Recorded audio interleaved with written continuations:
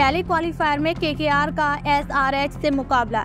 Eliminator में RCB का राजस्थान से सामना देखें playoff schedule Kolkata Knight Riders का आईपीएल 2024 के पहले क्वालिफायर में सनराइजर्स हैदराबाद से सामना होगा। उसका राजस्थान के खिलाफ मैच बारिश की वजह से रद्द हो गया। कोलकाता नाइट राइडर्स और राजस्थान रॉयल्स के बीच होने वाला इंडियन प्रीमियर लीग 2024 का आखिरी लीग मैच बारिश के कारण रद्द हो गया है।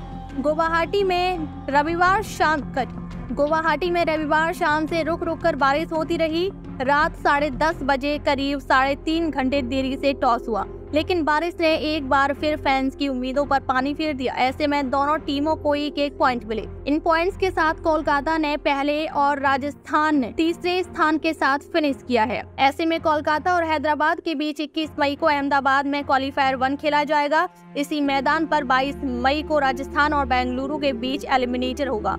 दिन के पहले मुकाबले में सनराइजर्स हैदराबाद ने पंजाब किंग्स को चार विकेट से हराया।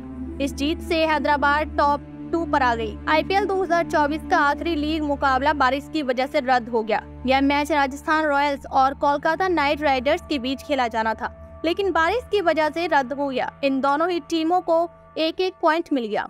राजस्थान पॉइंट्स टेबल में तीसरे नंबर पर रही। उसका एलिमिनेटर में रॉयल चैलेंजर्स बैंगलोर से सामना होगा। वहीं कोलकाता का पहले क्वालिफायर में सनराइजर्स हैदराबाद से सामना होगा।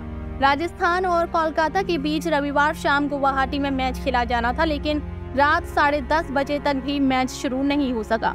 इस मुकाबले के लिए देर रात टॉस भी हुआ, लेकिन फिर से बारिश आने की वजह से मैच रद्द हो गया। लिहाजा दोनों ही टीमों को एक एक पॉइंट दे दिया गया। पहले क्वालिफायर में हैदराबाद से भिड़ेगी Kolkata. K K R point table में टॉप पर रही। उसने इस सीज़न में चौदह मैच खेले और नौ जीते। के के आर को तीन मैचों में हार का सामना करना पड़ा। उसके पास 20 पॉइंट्स हैं। हैदराबाद दूसरे नंबर पर रही। हैदराबाद ने चौदह मैच खेले और आठ जीते। उसके पास सत्रह पॉइंट्स हैं। अब ये दोनों ही टीमें पहले क्वालिफायर में भिड़ेंगी। आईपीएल 2024 का पहला क्वालिफायर इक्कीस मई को अहमदाबाद के नरेंद्र मोदी स्टेडियम में खेला जाएगा।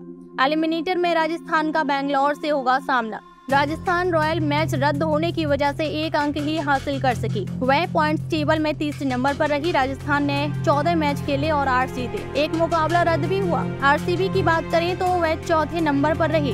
उसने चौदह मैच खेले और सात जीते। राजस्थान और बेंगलोर के बीच एलिमिनेटर मैच 22 मई को खेला जाएगा। यह मुकाबला भी अहमदाबाद में आयोजित होगा। पहला क्वालिफायर जीतने वाली टीम फाइनल में लेगी डायरेक्ट एंट्री आरसीबी और राजस्थान के मुकाबले में जीतने वाली टीम को दूसरे क्वालिफायर में जगह मिलेगी।